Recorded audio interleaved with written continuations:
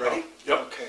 This is an interview with Richard Schneider at the Hampton Inn, Carrier Circle, Syracuse, New York. Uh, It's January 16th, 2003. The interviewers are Michael Russert and Wayne Clark. Could you, you give us your full name and your date of birth, please, and place of birth? Yes, it's Richard F. Schneider, and um, place of birth Syracuse, New York, December 19th, 1925. Okay. Uh, Before you went into military service, what was your educational background? Uh, graduated from high school and uh, joined the uh, early enlistment program at the uh, Army Air Corps in November of uh, 43 and was called to active duty then January 11th, 1944. Okay, why did you select the Army Air Corps? Well, I think uh, everyone at the uh, age of 17 at that time was your young men of 17 join the Army Air Corps and win your silver wings as a pilot, navigator, and bombardier. And uh, I said, that sounds great to me. And uh, so that's why I picked the, uh, Had you ever flown prior to that? uh, just in, in private planes, yes. Okay. Uh, when you heard about uh, Pearl Harbor, where were you and what do you remember about your feelings? I can remember that very exactly where I was at. Uh, my mother and dad's birthday both fell on December 7th. And in 1941, we were having a birthday party for them at, uh, at home. And uh, it, uh, they ran out of some things that had to be picked up at the uh, corner grocery store. So I walked over to the grocery store to get them. And um, I heard, they said, Have you heard the radio? That the Japanese have bombed Pearl Harbor. And uh, so I listened to it for a few minutes and came back home and told the folks and everyone else. They said, oh no, that's probably just a story. So turn on the radio and, and listen, and that's, that's how I found out. What was your, did you have any reaction to this at all? Not really, I guess, uh, um, not knowing where Pearl Harbor was, like every, most everybody else, I guess. Um, didn't have much of a reaction other than, uh, you know, feeling that it uh, was a very sneak attack and, uh, and violated all the principles that we live by. Okay, um, when were you called into service and where did you, you do your basic training and so on? I called into service on January 11th, 1944, and reported to Fort Dix in New Jersey uh, for indoctrination, and then ended up at uh, Biloxi, uh, Mississippi at Keesler Air Force Base. Okay, can I go back a second? Now, noticing in uh, your memoirs that you wrote, uh, you married prior to going into service? Uh, no, I didn't get married till after I came back Oh, from okay, overseas. Uh, we were engaged before I went Oh, into okay. service, and uh, uh, didn't get married till I came home from Okay. overseas. I just read that. But I had a girlfriend. Okay. Um, could you tell us about your training in Mississippi? Uh, Mississippi was the at uh, Keesler Field, and uh, being kind of early in the year, it was it was cold, and uh, we lived in tents, and it was uh, it was quite a time. Um, we went through a complete basic training, and uh, included some hikes and bivouacking, and uh, worked out fairly well. I thought for me, because I I felt I was in fairly good shape when I went into service, and with a lot of fellows that I was in service with from uh, New York City, who didn't seem to be in the same, I guess, physical shape that I was. Uh, the long hikes uh, were were quite telling on them, and I felt that uh, I survived that very nicely. And uh, I know one time we were in uh, bivouacking, and uh, everyone said, "Oh, we're not carrying those big, heavy overcoats with us, and you know, we don't need all the stuff that they generally said we ought to have." So I says, well, I'm packing everything that I need." And it was a very warm day when we started. We got our pup tents pitched, and uh, it started to turn cold, and then it rained, and it poured rain for three days. And thank God I had my uh, my overcoat with me and everything else that I had brought because really needed it. Got down to in the 40s, And uh, for those that didn't, weren't dressed properly, it was, it was quite stressful for them. What were your relationships with the, the people in uh, Mississippi, the local people? Did you ever have contact with them? We only uh, got out of the base uh, once while I was there uh, because um, it was right at the time of the war where they really needed um, needed young people, and uh, they had canceled really all of the uh, cadet training for pilots, navigators, and bombardiers, and uh, we went through a series of tests, and um, we were just told one day uh, that we were shipping out, and uh, I ended up from there at Harlingen Air Force Base, uh, which is gunnery school in Texas, and uh, ended up uh, taking gunnery training, and uh, uh, finally ended up um, as a gunner on a on a B-24. Um, Did you train in all gunnery areas, waist gunner, belly gunner? All, all, all positions, uh, uh, including armament training, uh, loading, learning how to load bombs and everything in planes, and uh, went flew just about every uh, type of airplane that they had, and positions of gunneries: ball turrets, tail turrets, uh, Martin turret, the top turret, and um, the uh, nose turret. How'd you like the belly turret? Well, I didn't like that as well because I was fairly tall at the time, and uh, to get crunched up in that little ball position was uh, was quite a problem. Uh, and, and later on in the experience, uh, when we finally joined our crew, um, I was assigned a belly gunner position, but the uh, one of the other fellows in the crew was a lot smaller than me, and uh, so he said, "Gee, I, I kind of like the belly, and if you wouldn't mind taking the tail, I." you, you can have the tail, I'll take the belly. And so I said, that sounds like a good deal to me. And uh, so that's how I ended up as a tail gunner. Now, uh, on the B-24, uh, the ball turret gunner, was he able to uh, uh, get out of there easily? I know on the B-17, uh, once those guys were in there, they were basically locked in unless uh, some some other crew member cranked them out of there. Yeah, um, with the B-24, uh, the, the belly turret had to be actually let down. It was on a hydraulic ram, and it was let down so it was below the airplane. And uh, to get him out, you really had to jack the, the it back up in and uh, open his door to get him out. Yeah, so it did need some, some help from the outside. Okay, um, when were you assigned to a crew? Well, we left Harlingen Air Force Base, and uh, I was kind of hoping for a leave in between, uh, but they said, no, we just need a lot of people, and we've got to report to uh, um Massachusetts, to Westover Air Base in Massachusetts, and that's where I met my crew.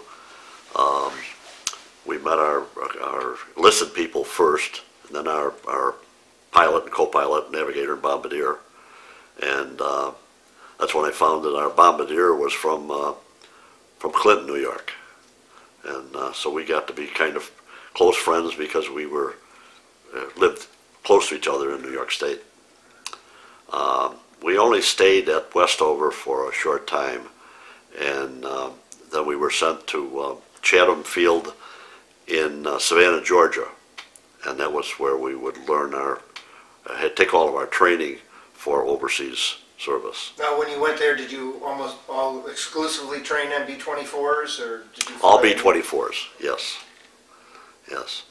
Um, our pilot, of course, learned to fly B-24s there, and our co-pilot did. And the navigators and bombardiers, of course, they, they had all their uh, things to do uh, in the, uh, the nose of the airplane. Um, and we, we did take all types of gunnery training uh, in the at, at Chatham. And we did have uh, a lot of over water trips.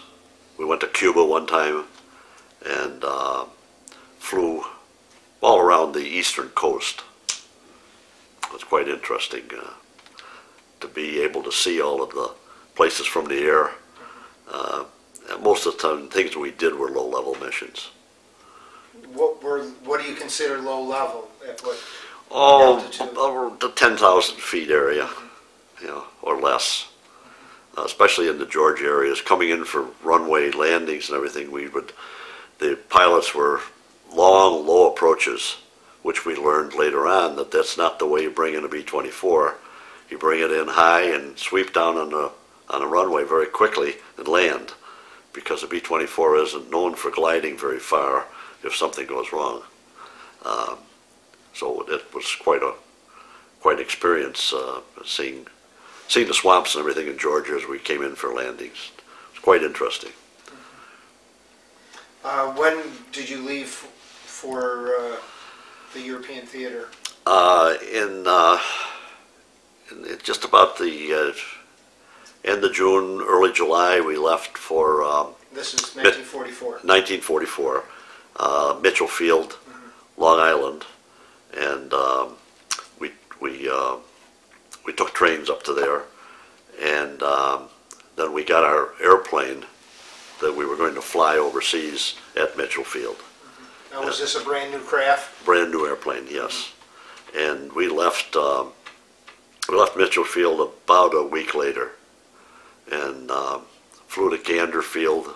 Well, first uh, first to Bangor Field, Maine, then to Gander Field in Newfoundland, and uh, the planes were backed up going overseas at that point. So we spent about ten days at uh, Gander, and it was of course a nice time of the year. Then it was you know uh, early July, and uh, but we were we were anxious to get going, but spent ten days there, and then from there to the Azores uh, for a day, uh, on from there to um, Tunisia, Morocco, uh, Sicily, and, and Italy. And we didn't know at that time where we were going. We just uh, sealed orders until we left. Um, I think left Morocco before we knew actually that we were going into Italy. Now, what unit were you assigned when you reached? it? Uh, I was in the 15th Air Force, uh, the 460th Bomb Group, 763rd Squadron. Did you keep the same plane that you flew No, over? they, actually, the planes that we flew over, uh, at that time, they needed so many airplanes that any airplane that got to the field that we ended up at, uh, actually in Spinazzola, Italy is where our field was. Um, the planes were assigned to anybody that was going to fly that day. So we never really flew in the same plane. We, we probably did, but I, I don't have any records of actually flying in a, in a specific plane at any one time.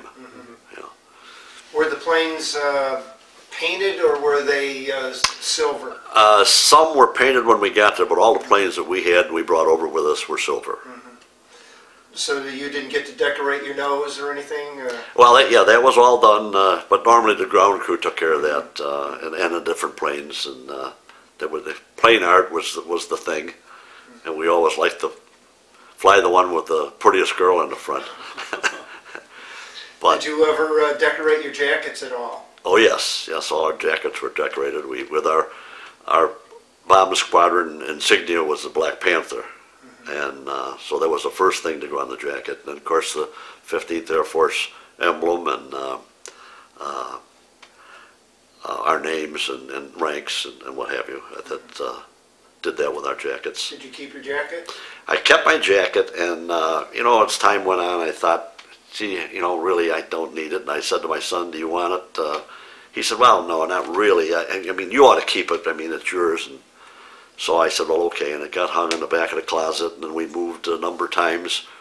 And uh, one day, uh, he said to me, he said, "What? Uh, you still have your jacket?" And I said, "Gee, I don't think so. I think your mother gave it to the Salvation Army." And he says, "Oh, Dad." And uh, so we uh, we did look around, and finally the jacket turned up, and uh, he has it now. Wow, And in fact, his daughter has worn it a couple times. great. Yeah, I can't get into it anymore. Okay. Um, why don't you explain your missions and so on out of uh, your base in Italy? Okay, uh, out of Italy. Uh, when I first got there, we were uh, said that you would need to fly 50 missions, And missions were, um, if you took off and you went um, just a short distance, that was one mission credit. But if you went up deep into Germany or Czechoslovakia, uh, you got two mission credits. So we did a lot of flying deep into Germany, and I accrued quite a few mission credits. Uh, and as we got into that, they changed it to 35 individual takeoffs. So eventually I ended up with 57 missions and 35 individual takeoffs. Um, we started um, in August with 23 crews that had, arrived at the airbase with uh, at the same time I did. And of those 23 crews in um, November that year, uh, there was only three operational crews left, and our crew was one of them, and we were minus our bombardier. Uh, our bombardier was sick one day when we were going to fly, and he couldn't go with us. But at that time, he had become a lead bombardier, and uh, that day we got shot up pretty badly. And uh, coming back home, we couldn't land at our base. The bases kept closing uh, due to the weather. And uh, we got in to, to try to land at our base. They said, you're just all socked in, you can't get in here. And we flew to Bari, Italy. And uh, the weather was so bad there, they said, no, you can't come in, you, you just can't do it. Uh, and we said, it's, we have no more fuel. We're coming in, and that we, we just can't go anyplace else. And uh, we crash landed in Bari. And um, so we were there for about five days before we could get back to our base. Our plane was uh, was totaled. Um, so when we got back to our base, we found that our bombardier had flown with another crew, and uh, that crew had got shot down over uh, Czechoslovakia, and uh, he had uh, parachuted out, but uh, was not heard from again. And but they did capture some of the crew, and I learned later that uh, he had evaded uh, through the war until the Russians had come in and liberated him at the end of uh, as the Russians took into that area. But uh, that was just a, a quite a story in itself. So he survived that. He survived and um, and moved back to Clinton, New York. And um, in fact, when I got home from the overseas, I had called his wife. I'd met her uh, when when we were in the service together. Uh, I met her, and she, I said, gee, I, I wanted to talk about uh, Bob Wicks, his name was, and she said, gee, we just got a telegram this morning that he's been liberated and uh, and is free, uh, and will be home shortly. So that was quite a quite a nice feeling. Yes. Um, so we, we did complete then the rest of our missions. Uh, with the, I, I flew a lot of, lot of them with our crew. However, again, they needed so many people and, and were short different positions on airplanes. So I finished up uh, ahead of the rest of our crew because they needed tail gunners. And uh, so I flew a lot more missions than they did um, to finish up earlier. Um, In uh, what you wrote there, you mentioned a couple problems being a a tail gunner. Yeah, um, we had gotten uh, shot up at one time. I was in the tail turret, and the tail turret had a uh, had a cable, and you would pull the cable to open the doors or close the doors. And the cable was right. The, the doors kind of uh, were uh, uh, were sliding doors that swung behind me, and uh, would kind of close me into the turret. So when you turned your turret sideways, uh, you wouldn't be out in the, the slipstream. And uh, we got shut up quite badly that day when our plane started to go down and went into a uh, uh, kind of a flat spin, and that pinned me right up against the side of the plane till I couldn't even move. And uh, all of a sudden, the plane seemed to, to straighten out of it, and uh, it did recover from it. And I reached over to grab a hold of the cable to open the door so I could get prepared to be, get out of the turret, and the cable come out in my hand. Uh, what had happened, the cable, we had a piece of flak had come up and actually cut that cable. And uh, it had cut it so that where the ammunition tracks crisscrossed underneath the turret. And then I sat on top of that, and the cable was, was underneath that to, to toggle to go both doors. When the flak came up, it cut that cable. so I couldn't get the doors open. And uh, needless to say, that was kind of scary. And uh, but one of the fellows came back from the waist and opened the door for me, and I never closed the door after that. and I had my parachute and everything all ready, and I had shoes cabled to it, so that if I could roll out backwards out of the turret, uh, pick up the parachute with the shoes attached to it, snapping on my parachute harness, and I was ready to go out of the plane. Uh, never had to bail out. Uh, had said anybody would like to bail out and just try it sometime over the base, we'd be glad to have you do it. And I said, well, if somebody said I had to do it, I'd do it. but I just didn't uh, get to the point I wanted to do it for myself. Uh, we had another bad experience. Uh, close friend of mine from the Syracuse area was flying a nose gunner in the uh, lead plane, and we were flying in, and flying in plane number three. Uh, and as they stack up, it's, uh, three is, or number one is the lead plane, number two is to the right, number three is to the left, number four is low behind the, the number one plane, and then six, seven, and eight uh, in their positions. We were flying in position three that day, and being the tail gunner, I could see plane number four. It was low and behind uh, uh, the lead plane, and he had runaway engines, and he went up underneath the lead plane, and actually came up into the plane, and uh, they crashed together. And as they did so, the two planes came to the left and came towards us, and our pilot turned the plane so that that I was almost in stop action watching this from the tail turret, and I could see the uh, the number four plane just break apart, and then I could see the fellows standing just with their yellow Mae Wests that came out of the waist, just standing in midair with no parachutes or anything on, and uh, my friend I knew was in the nose turret of the other plane. Um, that plane had uh, just the first the number four plane had just kept breaking apart. First it, it, it broke in the middle, and then the tails fell off, the uh, wing came off, and the engine came off, and it just continued to break up. And it all kept falling towards us as, as our pilot went to the left, but it, it gave me a bird's eye view of everything happening, and it, it seemed stop action, and I've thought of that many, many times. Uh, the fellow that a friend of mine from Syracuse, Fred Doucet, was in the nose turret, and their plane was so badly damaged that the crew heard the, the words bailout, and the pilot had actually said, prepare to bail out. So when they heard that, all they heard was the bailout, so they bailed out of the waist section of the airplane. And unfortunately, we were over the Adriatic at that time, and that was in uh, in December, I believe it was, uh, uh, very cold, and uh, they were they were of course lost at sea then, and um, Fred was jammed in the nose turret, couldn't get out, and the uh, bombardier and navigator who tried to bail out got stuck with their parachute harness and a nose wheel gear, and uh, the plane had seemed to right itself, shaking quite badly.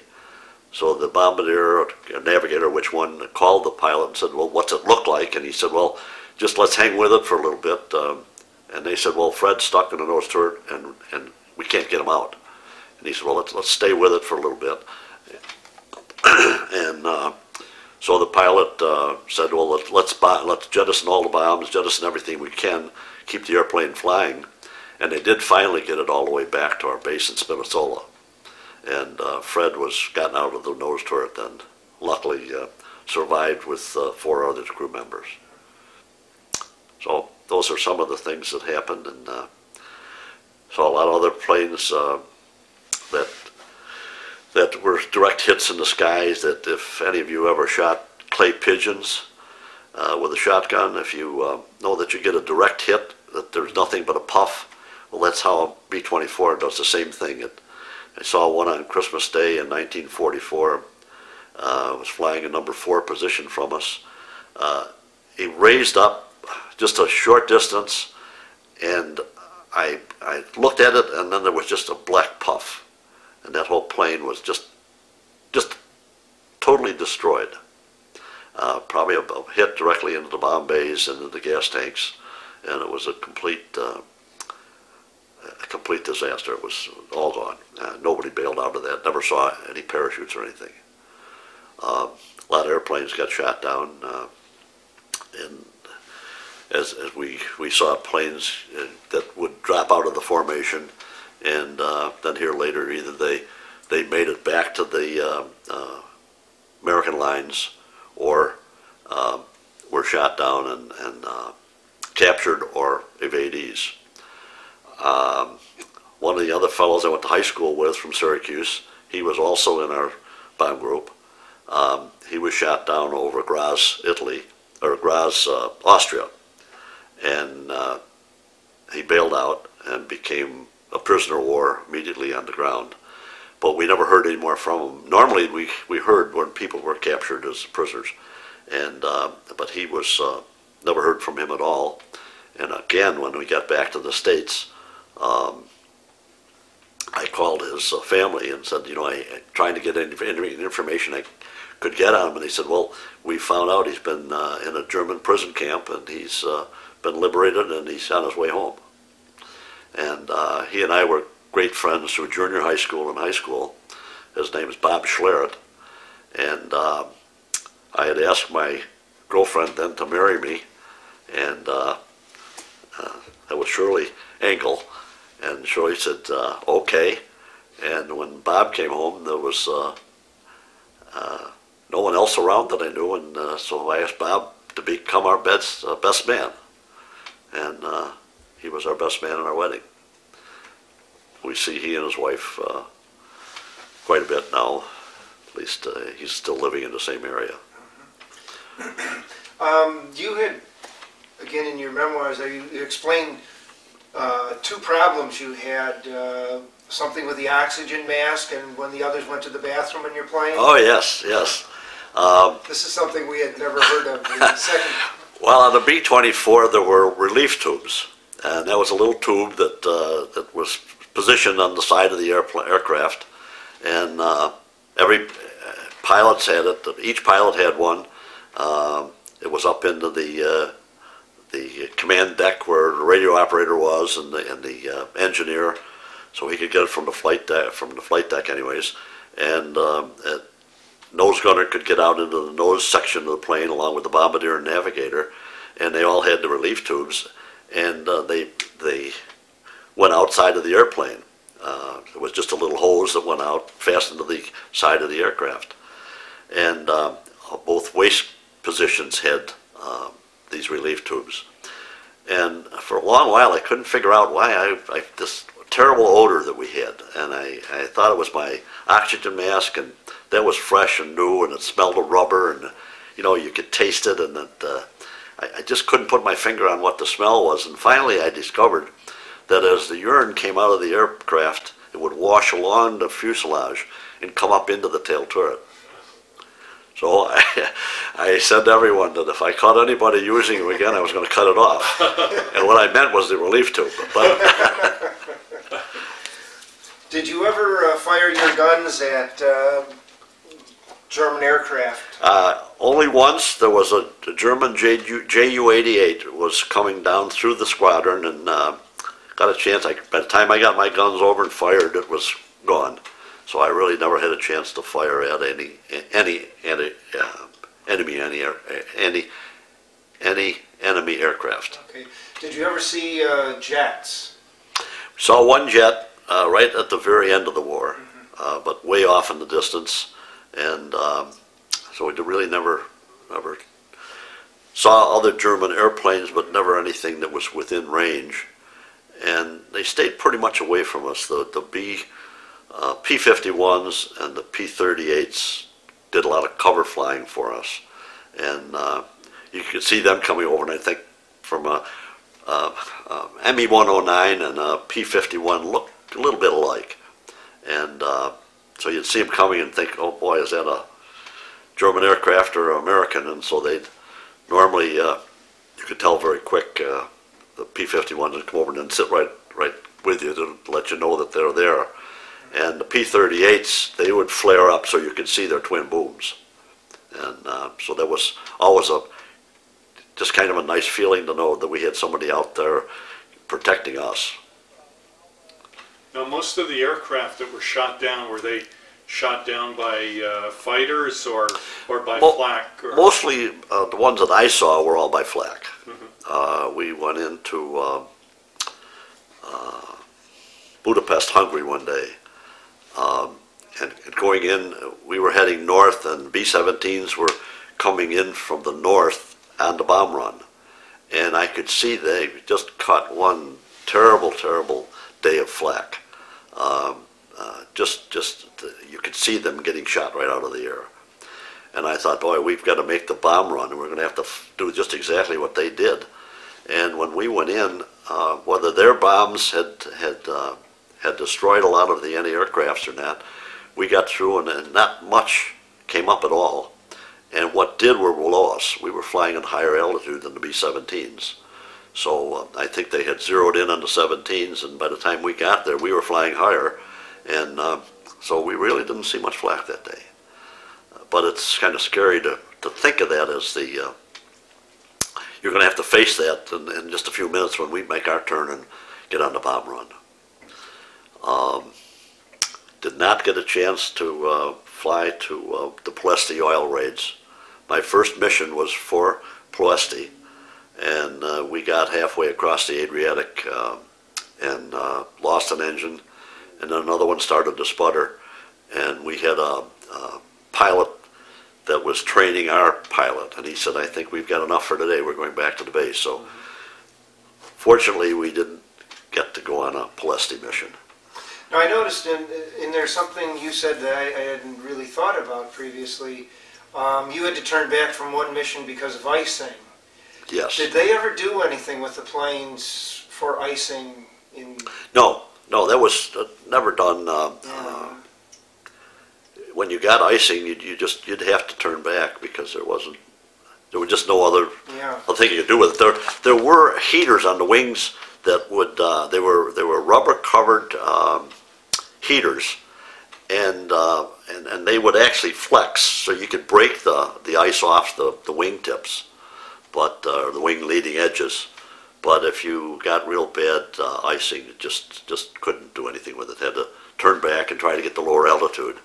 Temperatures in in uh, areas where we were flying then during the winter were always around 65 below zero. So uh, it was uh, was cold, and uh, so you try to get the lower altitudes sometimes to see if you could break up the ice. Now, you said you had flown uh, 56 missions, was it? 57 missions 57. actually, yes. Now, how long did it take you to do that many missions? Well, I finished in, uh, you know, memory is starting to go. Um, I finished in uh, in April of '44, so it was uh, from August to April. Uh, it's uh, seven months, I guess, 8 months. It was pretty, pretty quick. Yeah, yeah. Well, as I say, they, it was all out missions. Every single day that you could fly, uh, they wanted airplanes in the air. And uh, every day was an all out mission, trying to get this war over with. And uh, anybody that was available to fly would, would fly in an aircraft. And uh, it, it just was uh, just trying to get the war over with. Now, now how long was your typical mission? Uh, several, several hours, or Well, if we went way up into the uh, Oswiecim, oil, oil fields, way up into uh, uh, Hungary, and uh, uh, that'd be we'd be a good eight-hour trip that day, and we would eat breakfast early. Uh, normally, would would get a wake-up call at about uh, four in the morning, and go up and have breakfast, go to briefing, go to plane and do all your checkouts. Uh, I was uh, assistant armor, so I was also uh, responsible for checking the bombs and, and how they were mounted, mounted in the racks and everything, and uh, then checking all the guns on the aircraft. And uh, so, you know, you, you had a long day work out of it before you even went on your mission.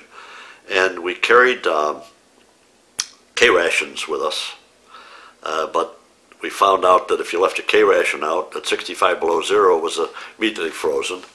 So I found that if I took the chocolate bars and the canned foods and stuck them in my heated flying jacket, that they'd stay nice and warm, and uh, so I could find those to eat after we got off the bomb run. If it wasn't too bad, maybe I was hungry enough to eat, and uh, so it would uh, it kind of tide us over until we got back to the base, and uh, Red Cross was always there to uh, to give us coffee and donuts, and the medics were there to uh, give us a shot of whiskey.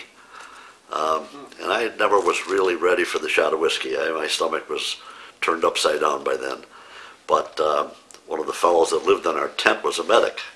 So I, uh, I got all my friends together and I said to the medic, I says, bring an empty bottle and for those of us that don't drink, you can pour it into that empty bottle and we'll get that later on. and uh, so we took that up to the sergeant's club and, uh, uh, club and, and uh, would have that mixed up with grapefruit juice. What, um, what was your reaction uh, when you heard about the death of, of President Roosevelt? Uh, I I guess that was, um, you know, we, we, we, we thought, we, I felt it was coming. And uh, I thought, uh, you know, it'd be, be nice if, if he, he could stay around till the end of the war.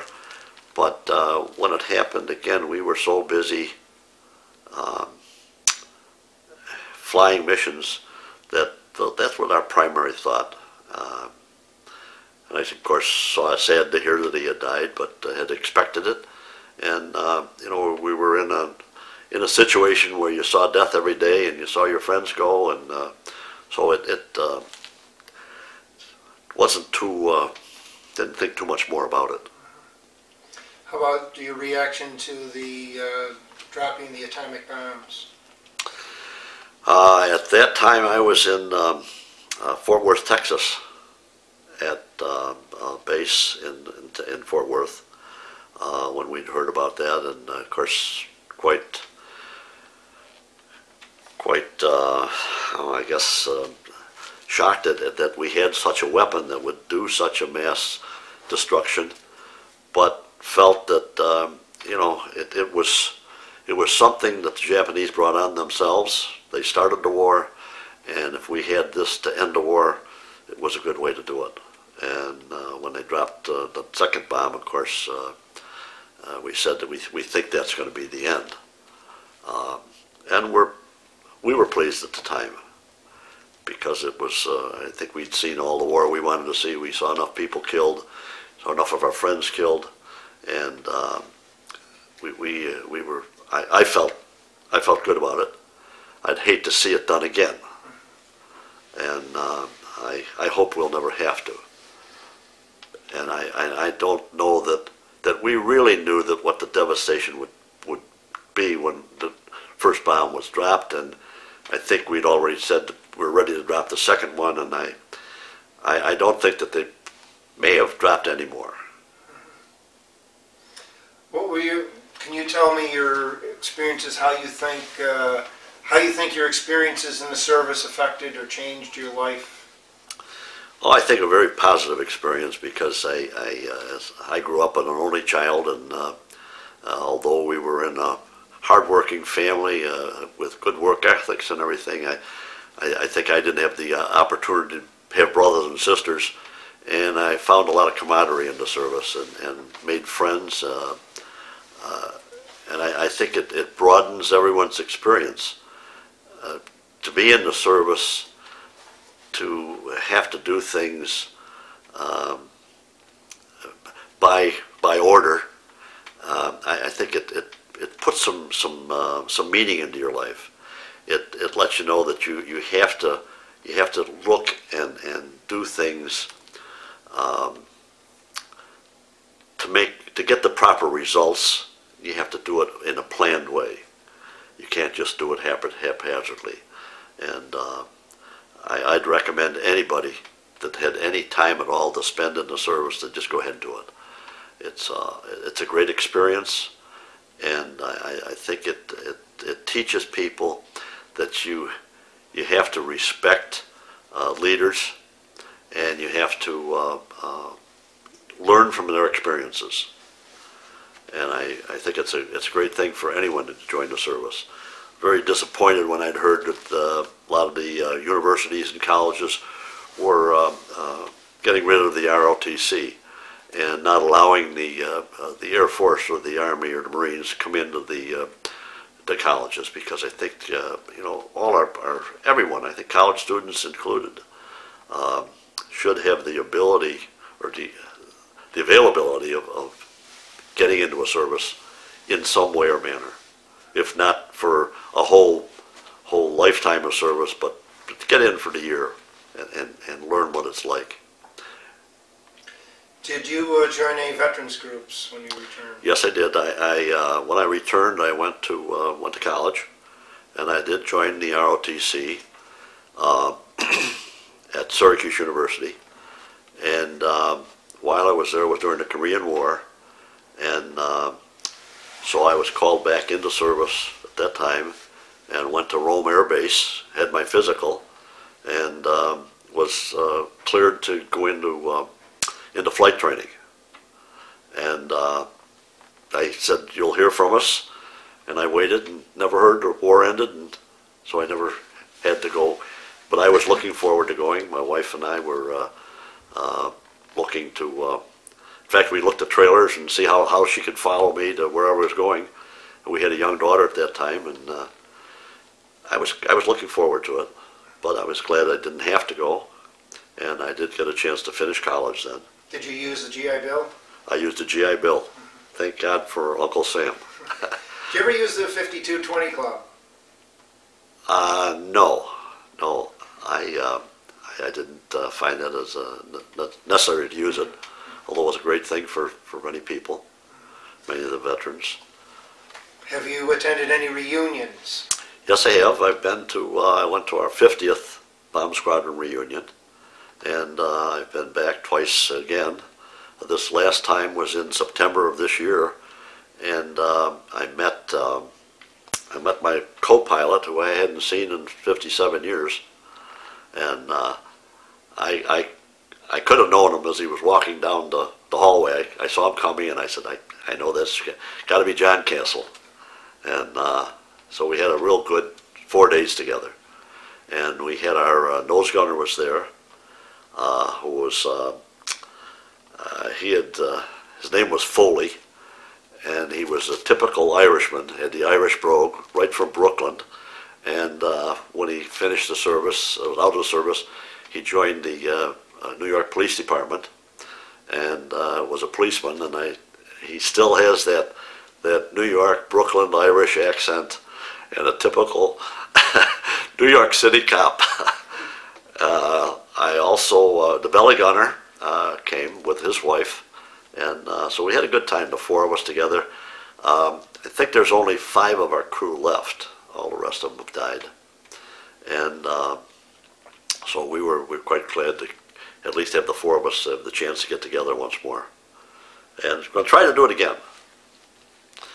Now, it mentions here you were in the National Guard. How long were you in the National Guard? Uh, no, I wasn't in the National Guard. I was in the, uh, I joined the, Oh, the uh, reserves. I'm Air sorry. Force Reserves, yes. And I was in the Air Force Reserves, uh, I think with active service and reserves and ROTC, it was about 14 years. But when I started my own business, I, I just couldn't spend the time anymore and I had to drop out. Were you an officer at that point? I was an officer. Uh, as, uh, graduating from ROTC, I was a first lieutenant and resigned from uh, the Air Force uh, as a captain. Okay. Any questions? Um, did you ever see any USO shows? Yes, yes, I saw uh, Joe Louis came one time to our base, and I saw um, uh, the Lone Ranger and Roy Rogers and Trigger, and uh, a couple of the shows. I didn't see any name actresses, but a lot of the USO shows were, were great and, and really, uh, really good for the for the morale. Um, and I, I did. Um, trying to think, I lost a thought there. Oh, going to the USO's uh, camps of um, buildings in, in different cities. Uh, Naples, uh, Italy, was a great USO uh, uh, area, to, a place to go to. And uh, they, they really helped the, the service people. Uh, being in Naples at the USO Club one day, I, I met a bunch of GIs that had just come up from the front from northern Italy. And we got talking, and I said, "Boy, I just I, I, I couldn't be you guys at all. You're out there in that mud, and you know, just cold, wet, damp, two, three, four weeks at a time, and, and just in mud and water and cold. And I said, I just couldn't do that. He says, Boy, he said, I couldn't be up with you with those guys shooting at me, and I couldn't shoot them back. so, uh, yeah, it, it, it was good. From Naples, I did uh, get a chance to go to the Isle of Capri as uh, uh, for a rest camp. And that was quite an experience too. The the Isle of Capri was uh, was, was quite a place to see. Uh, the Blue Grotto and the White Grotto were places you could see underwater, and it, just a it, it was a nice break to get away from the war for a week. Okay. Well, thank you very much for your interview. Well, thank you. I hope that uh, answered some of your questions. Yes. And ask if I could send her any notes of being with, with her dad.